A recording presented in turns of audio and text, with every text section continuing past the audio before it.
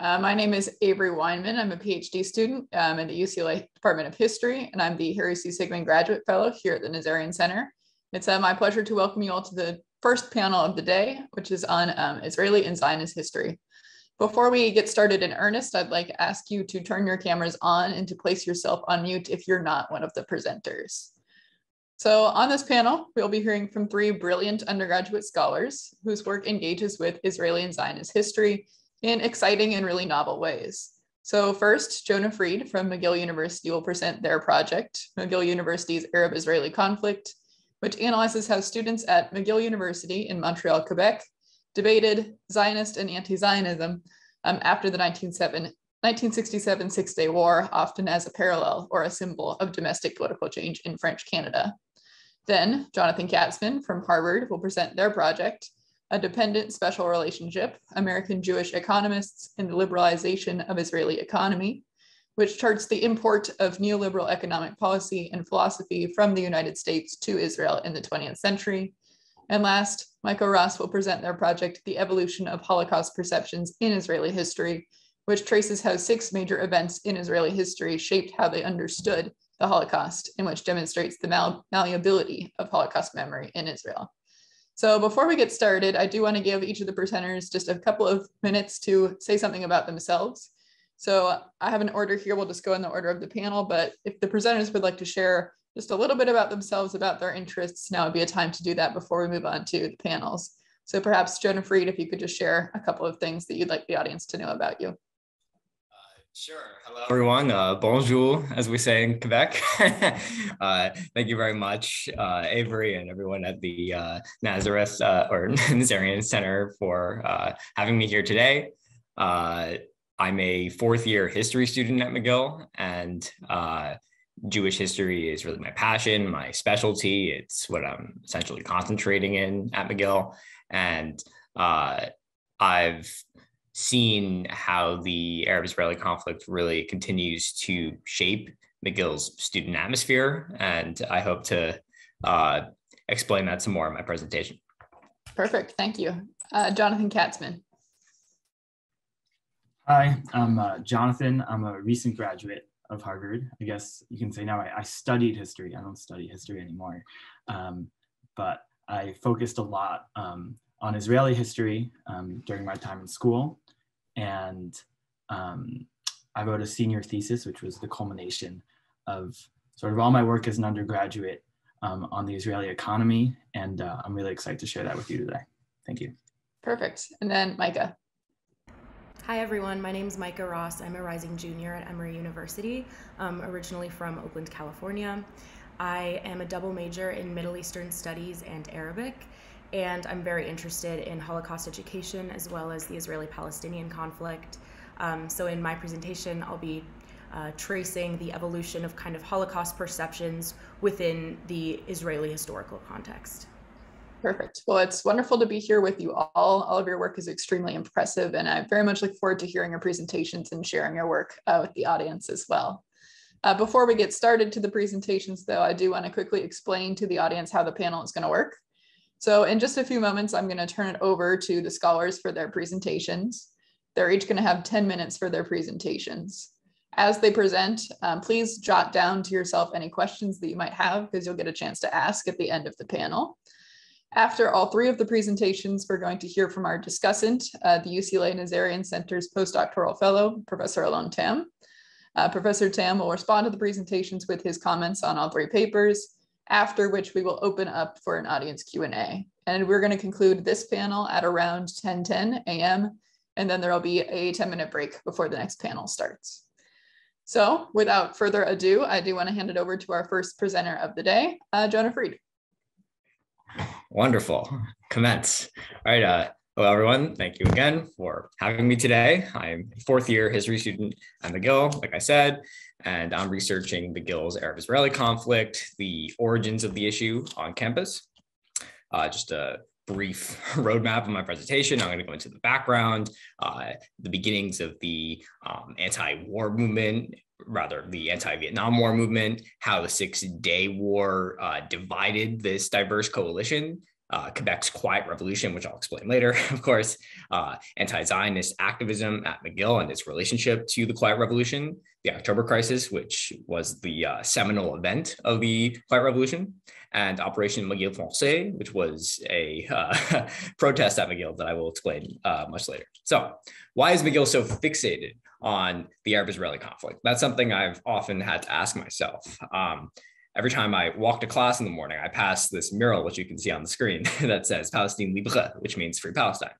Um, this really sets the tone for McGill's uh, student political climate. Um, without getting too political, uh, the issue is very relevant to uh, student discourse. It comes up at our referenda, our elections, and so on. So I asked myself why and uh, where did all this come from? It had to start somewhere.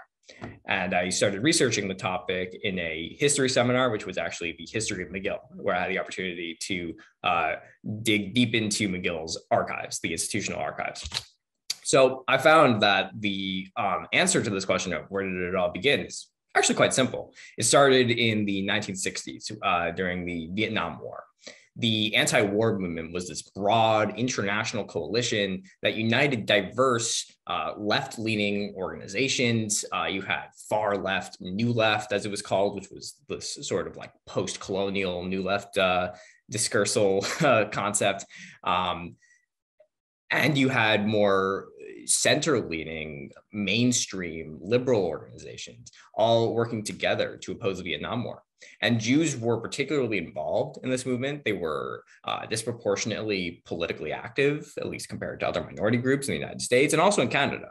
Uh, and so this really put uh, Jews at the heart of you know the political questions of the day, which obviously had significant implications much later. but within Canada, the consensus was much more opposed to the Vietnam War. I mean, it's not the United States for one, but also Canada tended to be a much more um, left-leaning country, to put it uh, rather abstractly. Uh, and Montreal was a hotbed for this sort of uh, anti-war opinion. And despite this, Canadian companies, um, government continued to subsidize the American war effort, providing arms, raw materials, and universities like McGill, especially McGill, conducted very important um, research uh, into arms, uh, intelligence, science that could be somehow used for the war effort. And this was very controversial, uh, to put it lightly. Um, so that's the sort of background before the Six Day War, which was Israel's preemptive strike against Egypt following uh, weeks of tensions. I know I don't need to explain the Six Day War too much to an Israel Studies panel, but um, Israel's preemptively struck Egypt after it essentially uh, passed a blockade against Israel. And um, this led to a six day annihilation of Arab armies. Uh, and the conflict grew Israel's territorial mass like three times as it occupied the Sinai Desert, the uh, West Bank, uh, Gaza, all parts of what had historically been um, Palestine. And this was covered much more extensively in the media to an unprecedented degree. And as these images flooded into Western media, um, with you know crazy headlines like "Total Israel Victory," the optics weren't so great for Israel's left-wing supporters. Consensus was still much more pro-Israel than we might think. Um, 95% of Americans continued to support Israel right after the war, but within the new left, within the you know the anti-Vietnam War coalitions, opinion was much more variable. Um, in fact, I would argue, and many historians have argued, that this conflict really split the left. As uh, Israel, once the uh, David in the David and Goliath uh, analogy, so to speak, was substituted for Goliath, and uh, the Palestinians were increasingly seen as this um, oppressed people, just like the Vietnamese. Um, I mean, this was even the uh, call to arms put out by many activists Vietnam and Palestine, one struggle, many fronts. Um, slogans like that were actually increasingly common.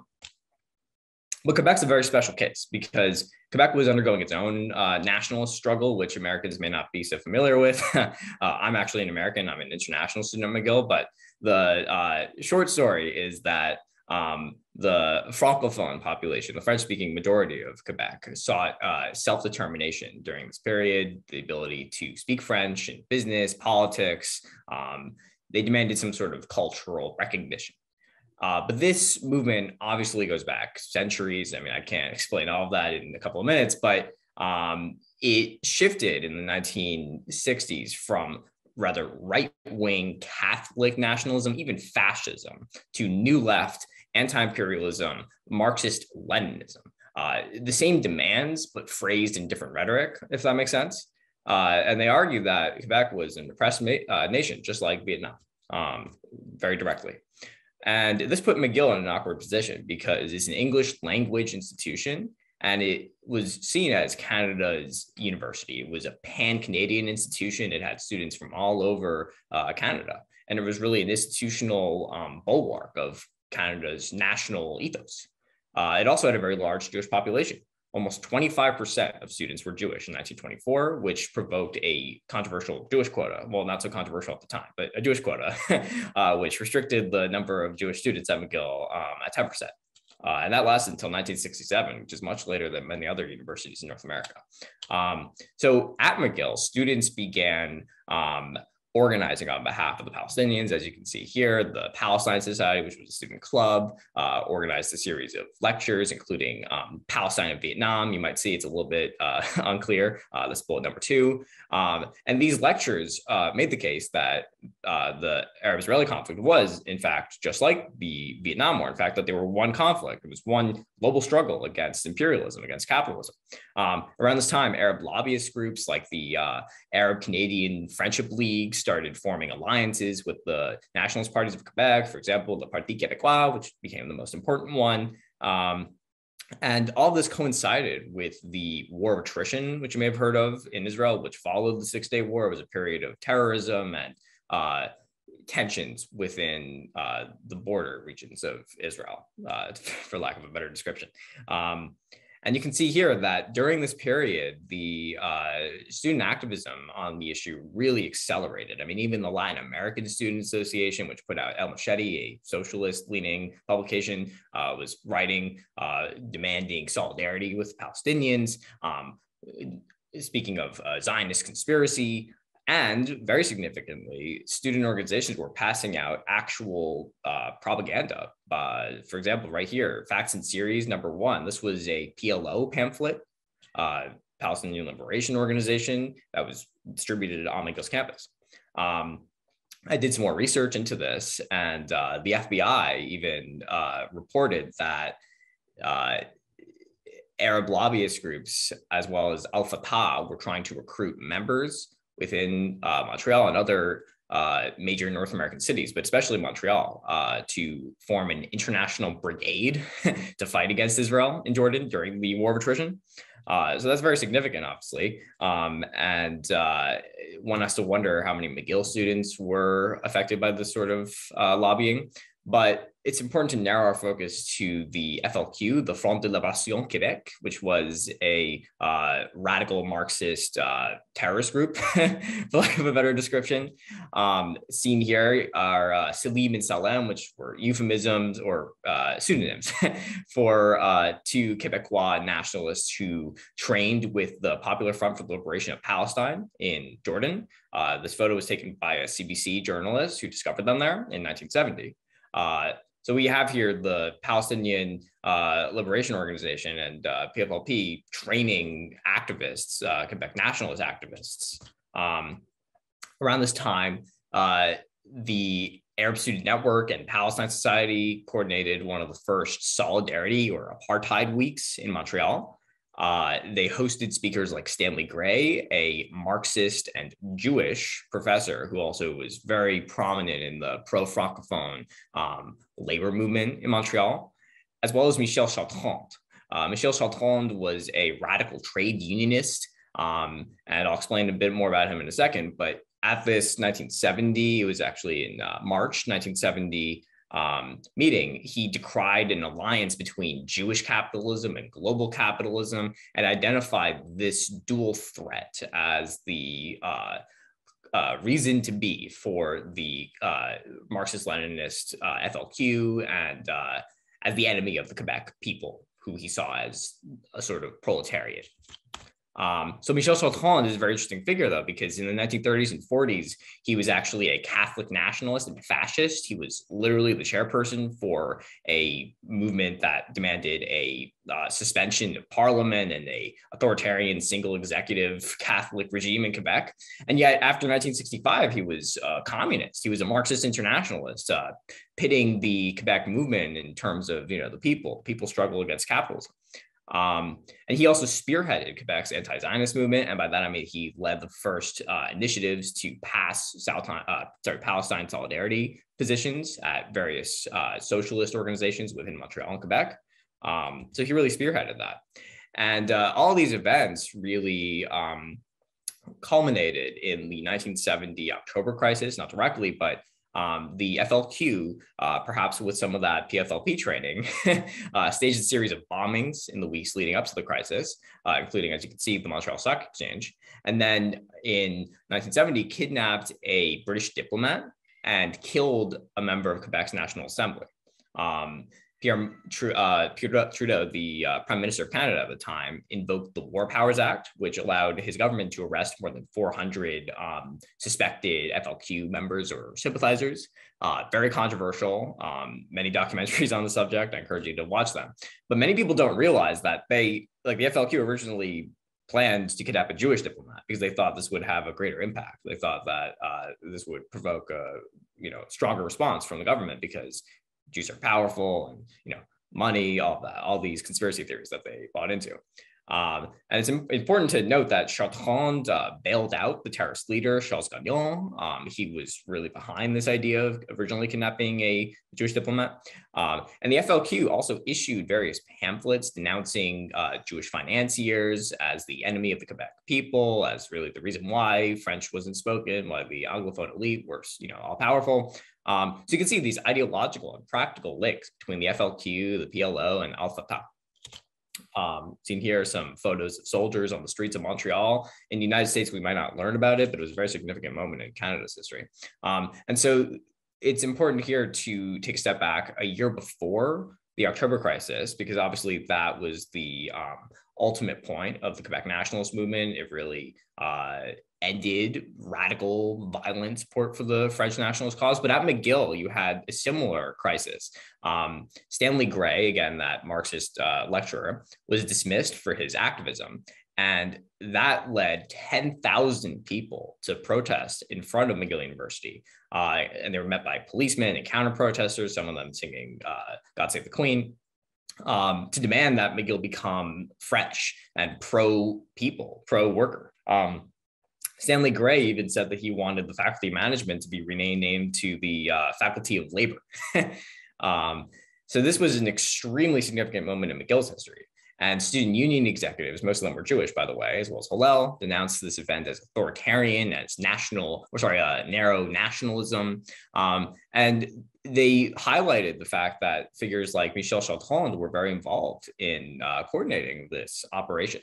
Um, so that's sort of a direct link to um, the anti-Zionist movement within Quebec. Um, seen here are police officers and uh, students or other Montrealers protesting to make McGill French, right? Um, but perhaps it would be reductionist to overstate this anti-Zionist connection. But it's worth reminding ourselves that a month before Operation McGill Français, right, that's in March, in February, there was a similar anti McGill demonstration in which protesters said, Death to the Jews. The Nazis have not cremated enough Jews, and really identified um, McGill as this locus for Jewish money, Jewish power in Montreal and in Quebec, and therefore as the enemy of the Quebec sovereignist movement, sovereignist meaning uh, pro separation, pro Quebec independence um, and really as the enemy of you know uh, oppressed people internationally. They did phrase their arguments in those new left uh, internationalist terms, um, and obviously again, uh, Chartrand's role in this should be emphasized because he was such a prominent anti-Zionist, former outright anti-Semite when he was a fascist. Um, that that's very significant here. Um, so from all this, I've concluded that McGill Français was not just about McGill's language similar to the October crisis, which was not just about French, not just about the fact that Quebec was forced to conduct things in English. it was about class. It was about social power.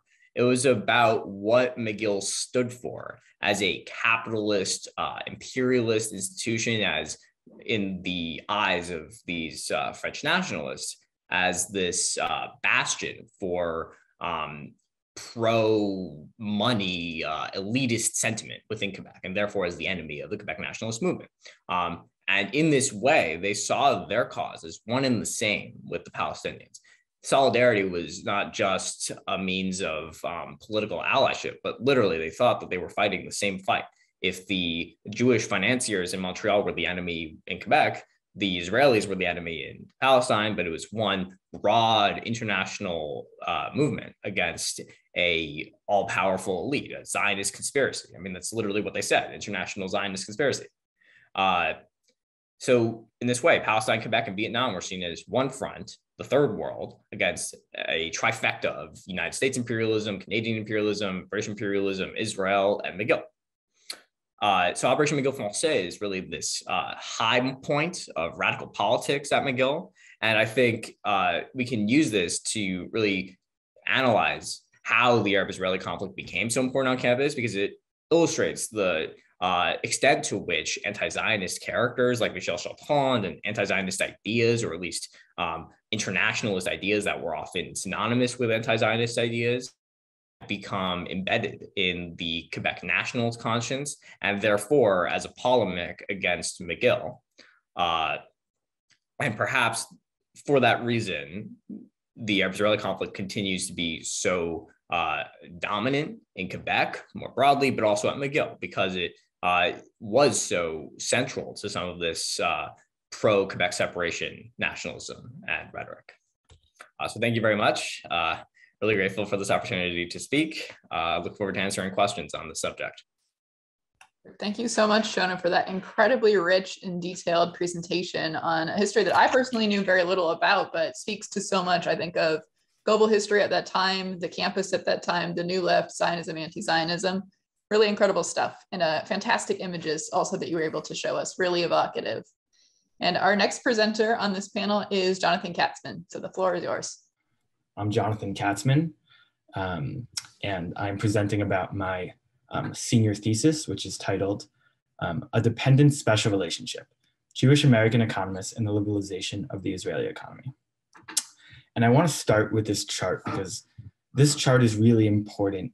Um, it shows some of the biggest changes in the Israeli economy over the past um, few decades. And what we see here is in the, not, do you guys see my mouse when I'm moving it? Okay, great. We see here in the in the 1980s um, is that Israel is spending nearly 60% of its GDP um, in terms of government spending, and this is um, amongst some of the greatest government expenditure um, in the world. Um, so this Israel in the 1980s is um, you know still very connected with its labor Zionist socialist roots and has very high social spending, very high military spending, and over time, we see um, there are extensive budget cuts. And eventually, we come down to a reality today where Israel spends around 40% of its GDP.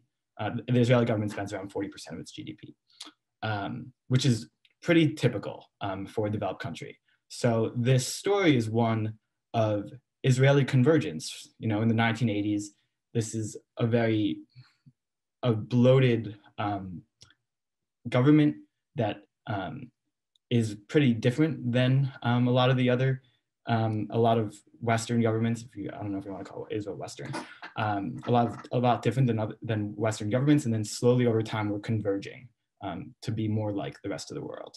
Um, and behind these numbers, behind the scenes, there's a whole types of political, economic changes that are going on. So uh, this is a poster for the Histadrut, the Israeli trade union, um, in the 1950s and 60s, this was one of the most powerful organizations in Israel. And uh, throughout the decades, they've lost power. Um, slowly, today, still an important institution in Israel, but a shadow of its former self.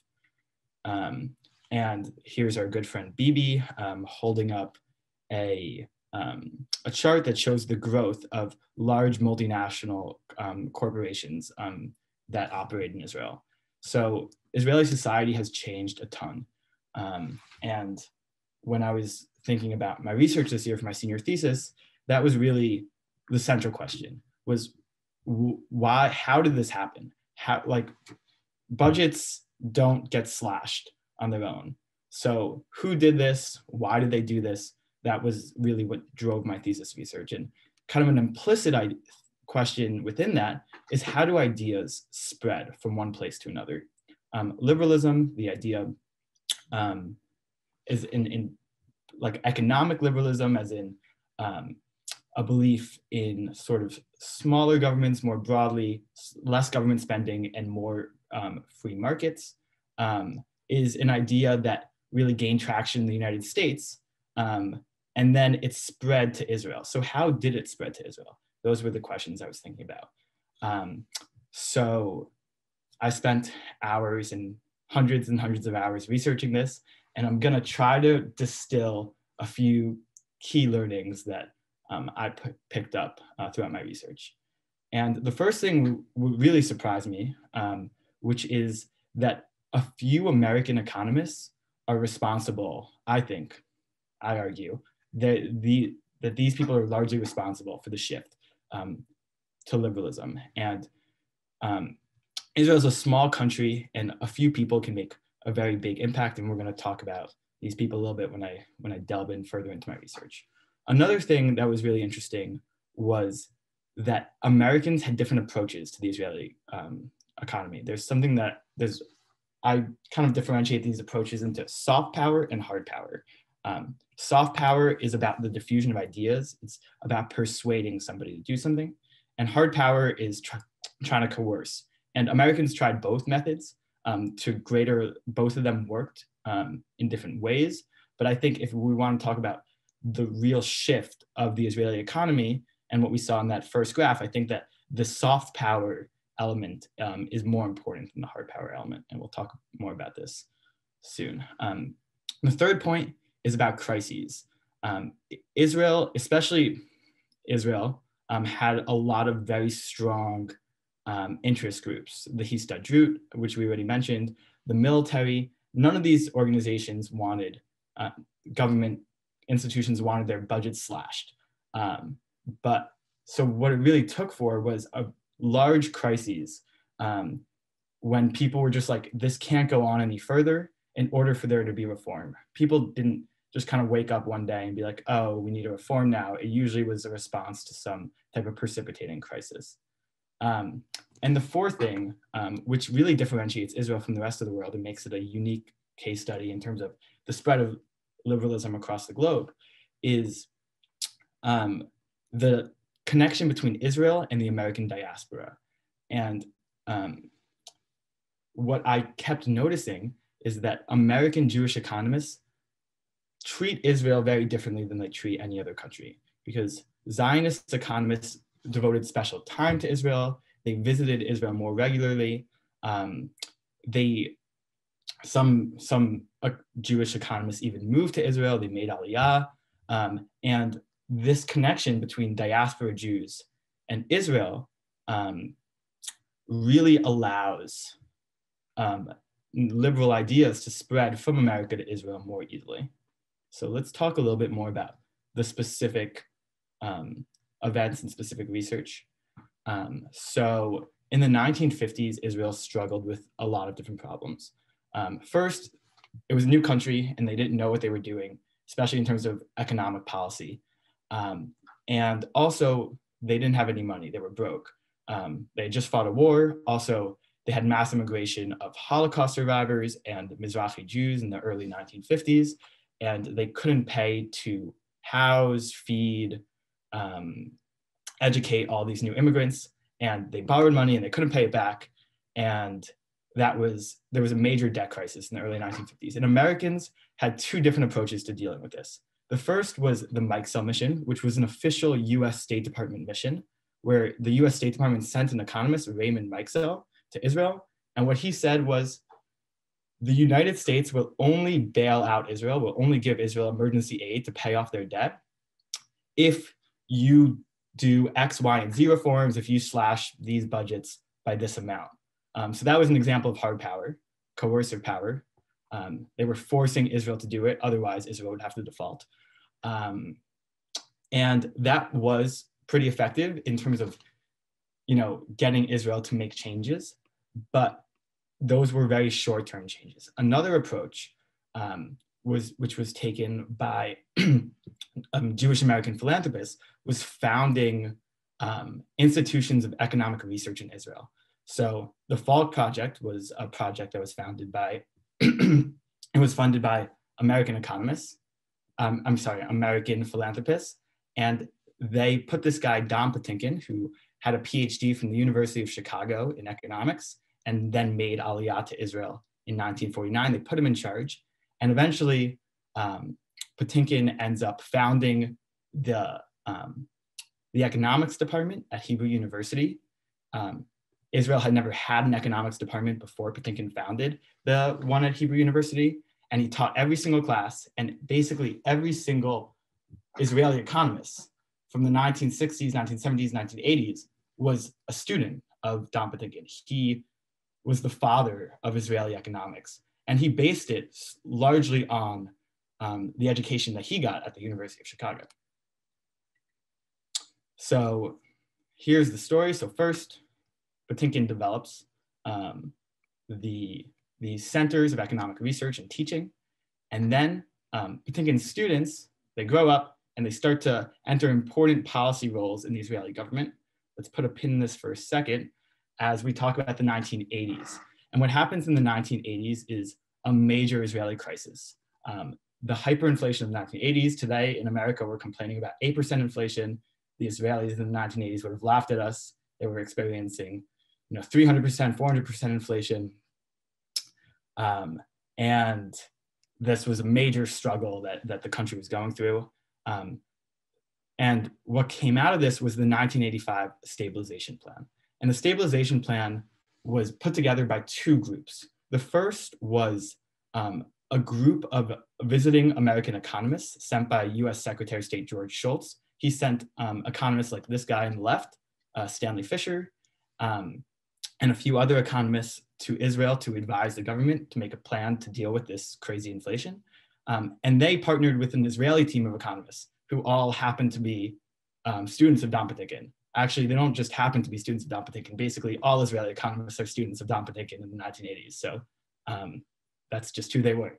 Um, and they create this plan, which is pretty radical. It slashes budgets um, across the government, social, military. Um, it also does things that the Israeli government has never done before. It institutes mandatory wage decreases against, um, in opposition to the Histadrut's wishes. Um, and this is a plan that is to totally reorganize um, the Israeli economy and make it more liberal. Um, and um, Israel, with its back on the wall, Shimon Peres calls an emergency cabinet meeting on June 30th, 1985. The meeting goes on for 20 hours as Peres convinces the members of his cabinet to vote for this plan that was put together by um, this team of American Israeli economists. And they, by and large, approve it. And as a result, we see um, Israeli public debt, um, which was a real crisis in the 1980s, has um, totally the crisis has totally abated and um, Israel is, is solvent. Okay, so let's just kind of talk about where we were. So first we have Patinkin students, they enter um, these roles in the government, and then we have this major precipitating crisis, 1984-85 inflation, um, and the debt crisis, and then we have this team of American economists come in and they work together with Patinkin students and they create this plan that totally changes the Israeli economy forever.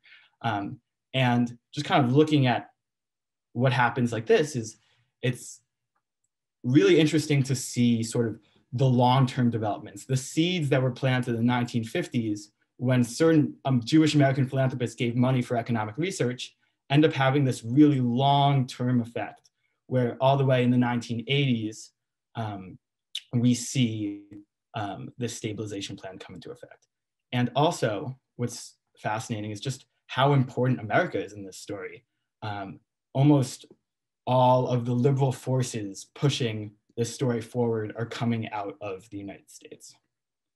Um, so I also want to talk about some pushback that Americans got. Um, it wasn't always green lights.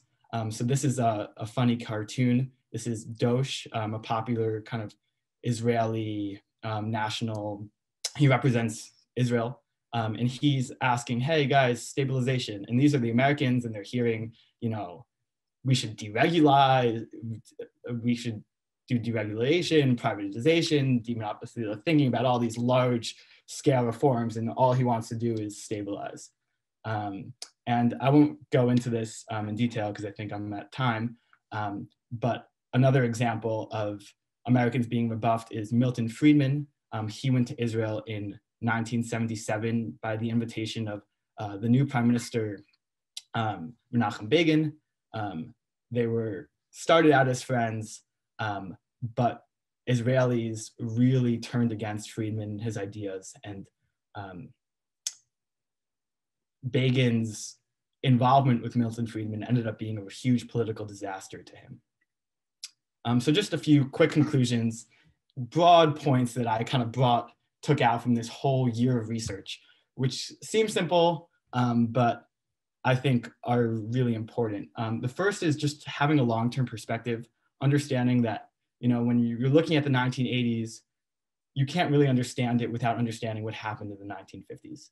Um, the second thing is nothing happens on its own. I think that sounds very simple, um, but especially when you're talking about things like liberalization, it's this broad term. You say, oh, Israel liberalized. No, people changed the policies of Israel. There were people who were doing things. Um, nothing, and that's an important way to look at the world to make sure that we understand, you know, that everything has a cause and understand that people's actions really make a difference.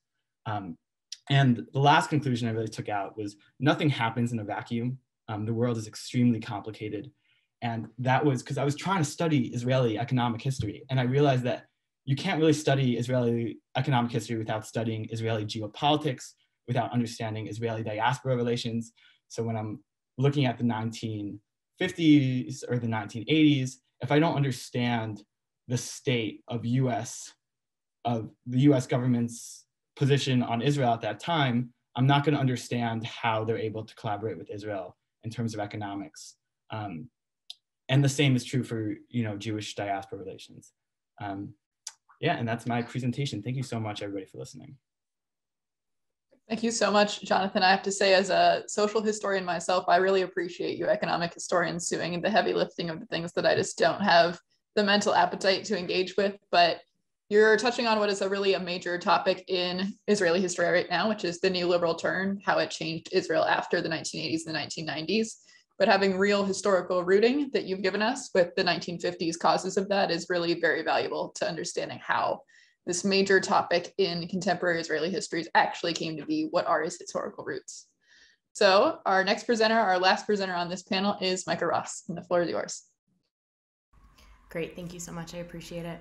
Um, hi, everyone. So, again, my name is Micah Ross. I'm a student at Emory University in Atlanta, um, and my presentation today is titled The Evolution of Holocaust um, Perceptions in Israel.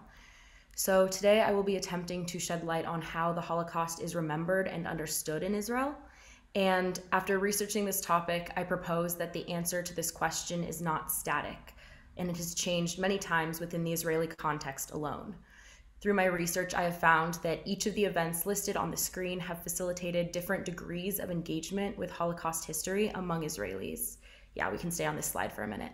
Um, so, first, the 1948 establishment of Israel, then the 1961 trial of Adolf Eichmann, then the Six Day War and Yom Kippur War in 1967 and 1973, the election of Menachem Begin in 77, the Lebanon War in 82, and then I argue that contemporary political polarization in Israel today is reflected in Holocaust memory.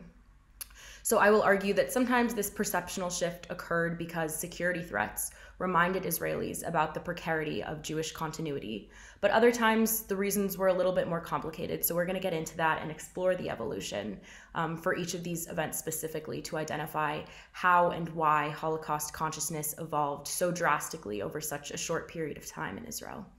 Thank you. So we can move to the next slide. Great. So, in the immediate post war era in Israel, the new Jew archetype was dominant in Israeli culture. This archetype emphasized strength and self reliance and people who were in charge of their own destinies and worked tire- tirelessly to achieve success. Naturally, this image was fundamentally incompatible with Holocaust narratives. Stories of the Holocaust were a reminder of Jewish victimhood. So the idea that Jews went like sheep to the slaughter, which was kind of a common mantra at the time, grew very popular and brought a lot of unspoken shame to Holocaust survivors. Because of this, Holocaust narratives were largely excluded from national conversation in the immediate post war period. Israel's first prime minister, David Ben Gurion, very much contributed to this culture. He was a strong believer in the new Jew archetype, and because of this, he insisted against the establishment of a national Holocaust Memorial Day, although the Knesset eventually kind of did so independently in 1959. Um, and he refused to participate in or even attend Holocaust commemoration ceremonies. With all this being said, there was one major exception to the trend of excluding Holocaust narratives from mainstream conversation, and that is stories which emphasized heroism and resistance. So, if people were talking publicly about the Holocaust in the era roughly between 1948 and 1961, they were most likely doing so through the prism of the Warsaw Ghetto Uprising or the actions of Jewish partisans and resistors. When the Knesset finally did make an official Holocaust Memorial Day in 1959, it was called Yom HaShoah v'Hagvura, translating to Day of the Holocaust and Heroism. So we can see that even the semantics of Holocaust remembrance at this time clearly reveal prevailing attitudes towards Holocaust memory. Next slide. Thank you. So next I'll be talking about the um, trial of Adolf Eichmann in 1961. Adolf Eichmann, just for some context, was a high ranking Nazi official, and his main tasks had to do with transporting Jews to concentration and extermination camps. He was what some Holocaust historians call a desk murderer, meaning that although he never, never pulled the lever on a gas chamber, he was kind of, from a macro perspective, in charge of coordinating the logistics of murder. Um, so after the war, Eichmann escaped to Argentina, but he was eventually captured by the Mossad, and in 19 he was captured in 1960 and stood trial in 61 in Israel.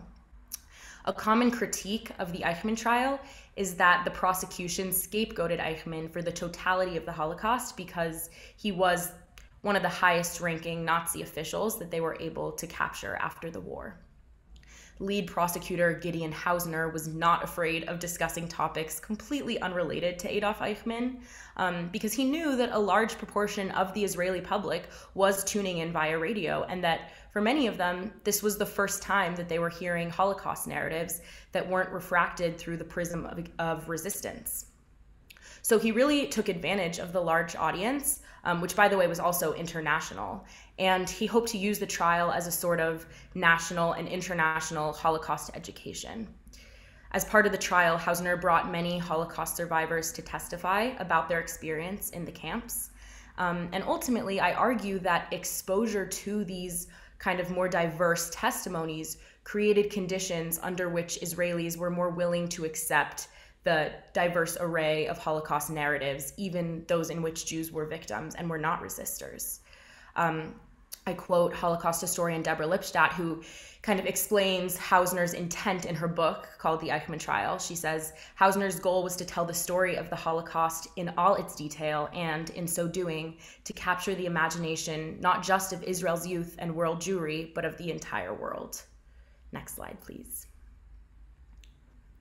Thank you. So, next I'll be talking about the impact of the Six Day War and Yom Kippur War on Holocaust perceptions. I want to make a disclaimer that, of course, the Six Day War and Yom Kippur had vastly different political and social implications in the Jewish state. Um, the Six Day War of 1967 resulted in Israel's capture of the West Bank, East Jerusalem, the Golan Heights, the Sinai Peninsula, and was generally viewed by the Israeli public as a, as a major victory. On the other hand, the Yom Kippur War was a bit of a closer call. That being said, both of these wars resulted in high rates of Israeli casualties and led Israelis to experience a sort of existentialism about the precarity of the Jewish state. This existential anxiety allowed Israelis to identify with the narrative of victimhood, which they had previously rejected in the context of the Holocaust. So, in other words, the Eichmann trial allowed Israelis to accept the victimhood narrative, but the Six Day War and Yom Kippur War allowed Israelis to empathize and even identify with it. Um, so, because of this, the Holocaust kind of became a focal point for Israeli national identity in a state that was struggling to establish national identity in the context of you know a lot of religious pluralism and ethnic diversity there was an influx of you know very diverse immigrants holocaust memory slowly began to unify the jewish people during this time and the israeli people. Thank you. So yeah next is 1977 in which menachem begin was elected as prime minister. Um, he was the first member of Likud to become prime minister, and his term catalyzed a long period of Likud domination in Israeli politics. So much of Begin's family was murdered during the Holocaust for context, and he himself actually only narrowly escaped Poland. He arrived in British Mandate Palestine in May of 1942. Begin's background influenced his relationship to Holocaust memory. Um, he routinely made references to the Holocaust in his speeches, um, and in 1979, he actually did make Holocaust education mandatory in Israeli schools. However, Begin was also fond of politicizing the Holocaust, and he often leveraged Holocaust memory in order to justify his military and political decisions. So, by tapping into this inherited trauma, Begin was able to capitalize on the Israeli public's most existential fears. And he was ultimately quite successful in this. He was really able to frame geopolitics as though anything antithetical to his political and military policies would threaten Jewish continuity. So, one of the most prominent examples of this is in a speech he gave regarding the 1982 invasion of Lebanon. He said, quote, "The alternative is Treblinka and we have decided that there will be no more Treblinkas." Next slide, please. Thank you. So that leads us into this next slide, which is the 1982 Lebanon War. This was an offensive war, arguably, um, and the left wing during this time began comparing Israeli actions to Nazism. During this time, two educators at Yad Vashem were actually fired for drawing such comparisons, um, and the comparisons kind of came into the into mainstream rhetoric. Um, so it ultimately catalyzed a new era of ethical and moral, moral engagement with Holocaust history. And it's kind of one of the first places where we see Israeli response to the Holocaust become decidedly split between the left and the right um, which I'll discuss a little more in my next slide. But it's interesting because the Lebanon War did have a major effect on left wing conceptions of Holocaust history, but it, its impact was much less substantial on right wing conceptions of the Holocaust. Next slide, please. Um, so this leads into my next point, which is kind of the modern day. So I argue that political polarization in the Jewish state today is reflected in the differing ways that Israelis interpret Holocaust memory. And this divide can be understood through the binary of universalism and particularism. universalism promotes the idea that the Holocaust was a lesson in the dangers of human evil and, you know, is a lesson to all of hu- humanity. But particularism is the idea that the Holocaust was a uniquely Jewish event occurring um, in the larger trajectory of Jewish persecution. Put differently, the universalist approach says that we have an imperative to never allow another Holocaust to happen to anyone again, whereas the particularist approach says that we can never allow another Holocaust happen to us, the Jewish people, again. Um, the Israeli left tends to identify with the former, while unsurprisingly, the right tends to identify with the latter. Um, next slide, please, and this is my last one. So, in conclusion, I want to kind of end my presentation with a quote from Zalman Gradovsky. He was a member of the, member of the Sonderkommando in Auschwitz Birkenau. And he was a Polish Jew. He was deported to Auschwitz at 32. Um, he kept a secret diary, and he died at 34. Um, he does a brilliant job of painting a grim picture of daily life in Auschwitz. But the excerpt I want to share with you today goes beyond that. Gradovsky addresses a question in his writing that I think underpins a lot of the research I've kind of presented to you all today. And that is how do Jews balance the knowledge of the Holocaust with the strength to continue fighting for Jewish continuity today? In other words, how do we balance the past, the present, and the future? He encourages us, Gradovsky encourages us to acknowledge that no matter what we think we know about the Holocaust, we will never be able to grasp its totality. Um, and at the same time, it's necessary to kind of continue moving forward as a people and a nation. He says, quote, Do not take fright when you discover trembling, living infants in moldy graves, for you will find them in a worse situation yet. Let your heart not tremble at the weeping of infants, the screams of women, and the groans of the sick and elderly, for you will hear more fear- fearful sounds and see more dreadful sights. Do not grieve for those who have already departed this life.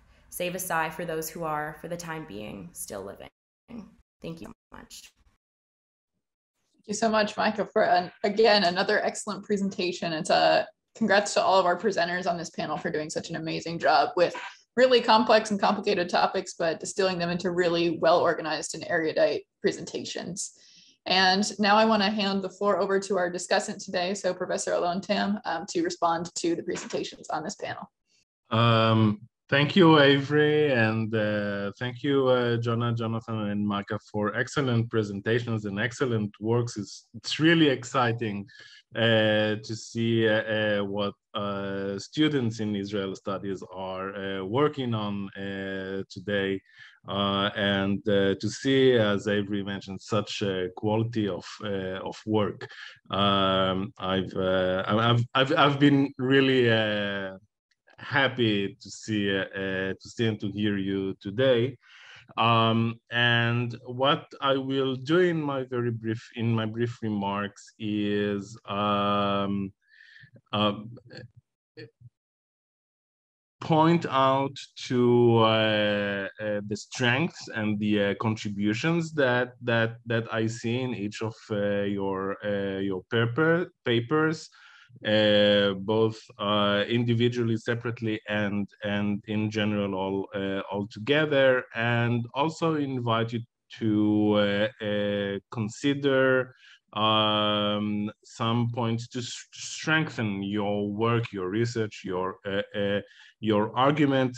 Uh, some of which you actually addressed in uh, during these presentations, even better than in your uh, submitted papers.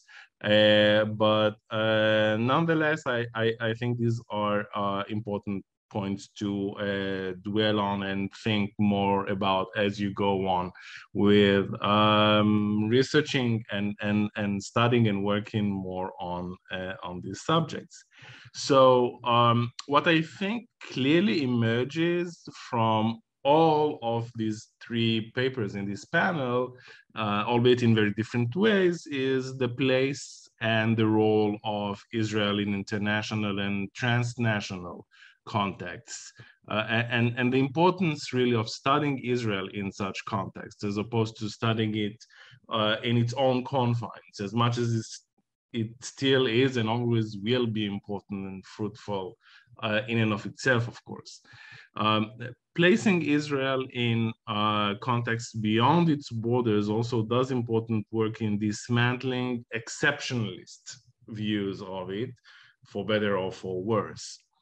Uh, so uh, Jonah Fried's paper on the implication of the Israeli-Palestinian conflict for a totally different uh, struggle halfway around the world in Quebec uh, demonstrates precisely those internationalist connections. It, it beautifully shows how uh, some of the so-called so sovereigntist organization in Quebec in the 1960s and 70s uh, framed or reframed themselves as internationalist and Marxist movement, uh, and by doing so, identified with the Palestinian liberation movement and especially with its more Marxist uh, elements. Uh, not not everybody in that movement was uh, uh, was Marxist, of course, but this newfound solidarity, the paper argues, also came on the back of a French Quebecois mainstream anti-Semitism directed at what they perceived as Jewish belonging to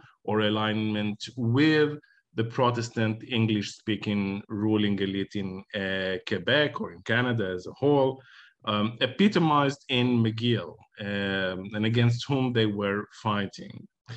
Uh, this is a highly innovative perspective, shedding light on an understudied aspect of uh, Canadian history and the paper supports it with research into primary sources such as student publications, club pamphlets, speeches, and, uh, and more. Um, I invite you, Jonah, to expand your research in order to strengthen the connections that you are uh, that you argue are there. Um, first, in the Canadian context, uh, you mentioned that the French Quebecois fought for independence since the 19th century. Uh, so, what changed in the 1960s that made the sovereigntists uh, to think of themselves as internationalists and Marxists? and why the connection with the Palestinian uh, uh, liberation movement. Uh, you mentioned the 1967 war as changing the perception of Israel as a colonial state, um, and uh, um, and and how uh, it collapsed Jewish and non-Jewish opposition to the American war in Vietnam. Uh, but this needs more elaboration and explanation. Um, you mentioned that a couple of French Quebecois activists trained with Palestinian fighters in Jordan. Uh, and this is exactly the sort of tangible organizational connection that I'm talking about that is most promising uh, to dwell on as opposed to abstract ones.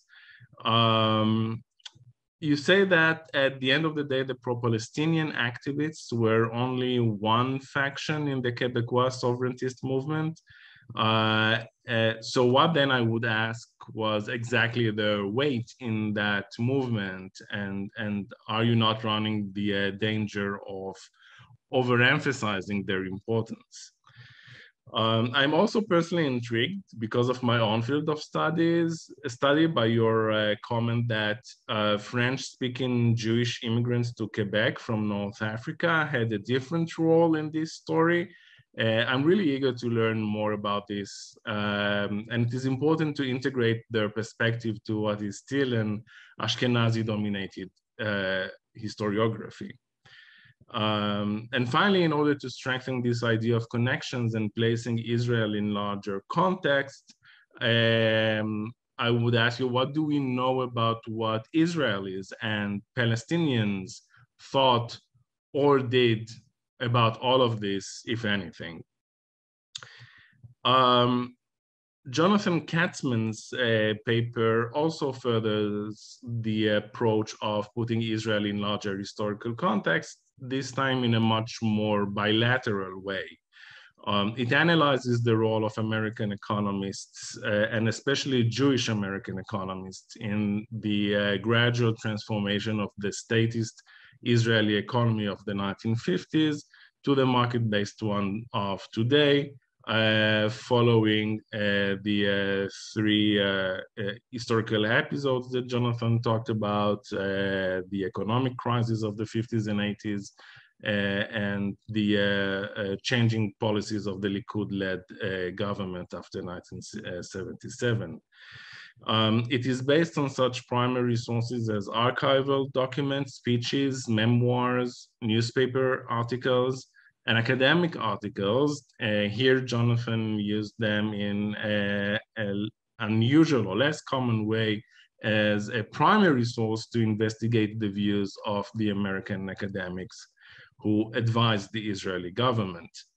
Um, I am curious, uh, though, about the use of ephemera, such as photographs, drawings, pamphlets, and radio transcript to gauge the Israeli reaction to American advice. Uh, I mean, how do these sources help us to understand that reaction? And why not use comparable Israeli sources to the American ones? Um, this paper makes strong claims of intervening in scholarship about economic history and American neoliberal intervention in global economies. Um, since economic history has been sidelined to an extent in recent decades in favor of cultural history, this paper really recovers an important perspective that has a great potential for a regional contribution. Uh, for example, the paper dates the start of the American-Israeli so-called special relationship a decade earlier than is commonly assumed, to the 1950s rather than to the late 60s. Um, it is also very promising in its investigation of the tension between the Israeli ethos of independence and self-sufficiency and its dire need for external uh, support, especially in times of crisis, uh, a need that pokes holes at that ethos of independence. Uh, overall, this paper offers a complex and multi-layered argument uh, about the successes and limitations of US government pressure on Israel, as well as the dissemination of ideas about the economy from American academia to the Israeli one and from there to Israeli policymaking. However, I invite you, Jonathan, to consider an additional perspective, the one about the internal politics of Israel. That is, the resistance of Israel to a complete transformation into an American style neoliberal economy cannot be explained just by its relationship with American advisors, nor by its ethos alone.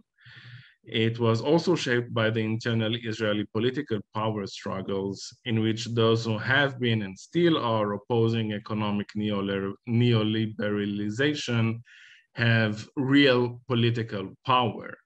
In other words, Israeli policymakers were navigating between American and internal Israeli political pressures. Uh, I also urge you to rethink your discussion about uh, American Jewish history uh, in the sense that an analysis of the strong personal commitment that individual Jewish American advisors have had toward Israel does not in itself say much about the history of American Jewry. Uh, and finally, I invite you to consider and perhaps reframe better your profiling of what you called who is a good advisor. Uh, it sounds more prescriptive than descriptive. In other words, is this a policy recommendation or a historical investigation or both?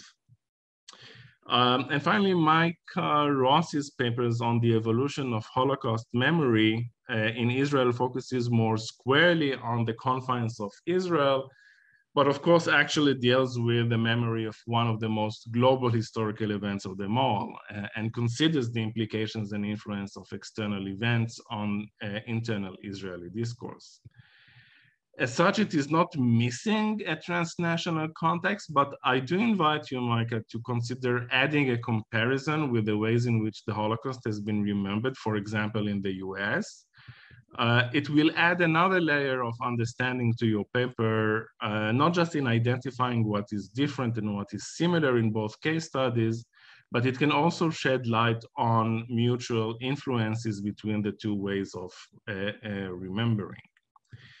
At any rate, this well-written, structured, and organized paper systematically traces how Holocaust memory has evolved since 1948 in Israel, from suppressing any narrative that could have hampered the heroic image that Israel's founders wished to inculcate in its young society, to the ubiquitous commemorating and teaching of the horrors of the Holocaust as a basis for Israeli nationalism. I invite you, Micah, to investigate this last part more. Um, Holocaust memory has indeed become pervasive in Israeli public discourse, especially in the 21st century, uh, even more than, than, than before, and you touched a little bit about this in your presentation. Uh, it really became a moral justification for policy decisions regarding Israel's economy, for example, Iran, it became a way to detract uh, political opponents. Uh, the late public intellectual Yeshayahu Leibowitz famously coined the phrase uh, Judeo-Nazis to describe Jewish settlers in the West Bank. Uh, Mizrahi radical activists, activists today play on the word Ashkenazi to describe anti-Mizrahi discrimination. It even became part of everyday, everyday slang in Hebrew. People can describe hyperbol hyperbolically, of course, anything bad that happens, like a heat wave or a long line at the store as Shoah, the Hebrew for Holocaust. It became so pervasive that many Israelis today are very concerned about what is already commonly referred to as the degrad degradation of Holocaust memory. Um, so I invite you to think about all that more and elaborate on that last part more in, in your future work. And finally, your paper will benefit from considering some theoretical so-called big questions in the field of memory studies. Uh, for example, how government and non-government commemorations of the Holocaust work together or against each other, uh, what have been the various platforms through which the Holocaust has been remembered, um, what have been the political motivations behind pushing or suppressing certain narratives about the Holocaust, etc. Um, thank you all very much. Thank you so much, Professor Tam, also for your discussants remarks, which I hope will be really helpful to the students, to our wonderful undergraduate presenters as they continue, hopefully, to work on these projects. Um, I just want to echo what Alon said, which is that these are all great projects that I would personally love to see you all turn into dissertations and maybe even to books someday. This is really high caliber graduate level work um, that can become professional history um, if you choose to continue to develop it. And we are running late on time, but what we're going to do is just kind of to push everything back in the schedule. So I do want to open the floor up to questions. Um, if you have one, feel free to raise your hand in the chat or write it in the chat itself and I can read it out. But we will start the next panel at 10.30 um, instead of at 10.20. So we have time for a question or two, and then we will take a short break. So anyone with a question, um, alert me in some way and I will ask our wonderful presenters. Yeah, Maura. Let me unmute myself. So I want to thank all the presenters. Those were really fascinating presentations. And I have a couple questions. Um, I wanted to ask um, the first presenter, sorry, I'm Jonah, Jonah Fried, thank you.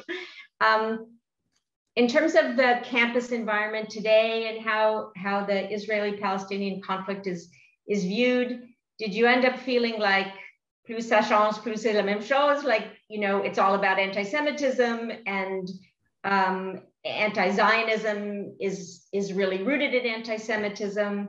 Was that sort of one of your conclusions from, you know, the, the research that you did? Um, so uh, Avery, do you want me to ask multiple questions or maybe just one and give the person time to respond? Yeah, let's do one and then give a time for respond. And okay. hopefully we can okay. have as many people participate as possible. Great. Okay. Yeah, I can respond to that. Um, I really appreciated the French there. Plus uh, I refrain from delivering any sort of um, moral judgment like that in this uh, historical writing capacity. I don't think that's necessarily um, my place for this sort of uh, historical analysis. That's something that um, my professor uh, discouraged me from doing, actually. Um, and I should say that this, uh, the paper I submitted for this conference was a um, extract from a much longer piece of writing um, that did cover many more details on this issue. Um, but to uh, shortly address your comment, there are tangible links, um, as I demonstrated, between um, outright anti Semitism, like Nazi level anti Semitism in Quebec, in the figure of Michel Chartrand, but also in others. Um, and 1960s, 70s era uh, anti Zionism. Does that mean uh, that they were les mêmes choses, the same? Um, I don't know if I can say that. I uh, am obviously uh, biased. Um, uh, so I'll leave it there. Um, that being said, though, um, the uh, anti-Zionist movement has often been unfairly dismissed as anti-Semitic. Um, at least some aspects of it. Um, obviously, there are anti-Zionist arguments that are undeniably anti-Semitic. Um, but I do think some of my sources, for example, um, Michael Fischbach, I actually have his book here, The Movement in the Middle East. I recommend it if you're interested in the subject. Um, he really um, persuaded me to think that uh, these Marxist radicals need to be taken seriously in their internationalist aims. They really did see Israel as just one more battlefront in this international war against the forces of imperialism and capitalism. Um, and so when you have these people who really uh, believe that, these convictions. Um, and you have figures like Stanley Gray, that um, Jewish and uh, Marxist lecturer that I mentioned in my presentation. Uh, when you have Jews like him, uh, I mean, some people would say that they're unjews, um, but you know, when you have figures like that, I mean, his parents were, you know, Holocaust, right? Um, so when you have people like that, you uh, do have to ask yourself whether it is just anti-Semitism. Um, and certainly within Quebec, uh, there uh, it, it's just very complicated. I mean, the uh, francophone struggle for uh, self-determination to put it um, rather abstractly again is a very long running uh, story. I mean i can't address everything that uh, professor Tam said um, but i will say that some of those uh, links that i was talking about between the palestinian liberation movement and the quebec nationalist movement were very very tangible in a, in a direct way just like with pflp training. I mean the um, arab lobbyist organizations that i briefly mentioned were bringing people like um, robert Bourassa and um, uh, René Lévesque, the father of uh, modern Quebec, really, um, the sovereignist movement, to their meetings. And uh, he justified this because he thought Quebec was going to be independent and said that it needed to have a foreign policy position on Israel Palestine. you know what I'm saying? Um, so when you have something like that, I mean, whether or not anti Zionism in this specific case is always anti Semitism becomes a very nuanced question. Thank you. Thank you for that question and Jonah for your answer. Uh, we have time for one more question and one short response. Or, yeah, ask another question. sorry. I, I, have a, a question for uh, Micah. Um, uh, and I think I, I expected Alon to touch on this maybe more in case I missed it, but um, the views of Mizrahim always um, on the Holocaust, on Holocaust memory, because the Mizrahi experience has been pretty much left out until very recently, as I understand it. So um, I don't I don't recall hearing much about that as you as you trace the history of Holocaust memory in Israel. So I wondered if you could comment on that. Yeah, I mean, I, I think it definitely was missing. I mean, it wasn't something I, I explicitly addressed in my paper, um, and it's definitely an area of study I would love to look into further. Um, I do think the idea that, you know, Holocaust memory, because we had all these, you know, these waves of new immigrants and so much ethnic diversity and religious pluralism in the state, Holocaust memory did in general serve to, you know, be like a focal point for national identity. But in the case of Mizrahim, obviously this was not necessarily applicable to them. There was um, a lot of violence again against Mizrahi Jews during the Holocaust, and then obviously in 48 there was ethnic cleansing of Mizrahi Jews. Um, but I think that, to my understanding, has yet to be acknowledged to the same degree as um, as Holocaust memory. Yeah, right. Great. Then Maura, thanks again for your question and Micah for your answer. And uh, with that, that is the conclusion of the first panel. So a round of applause again to our fantastic, fantastic presenters on this first panel.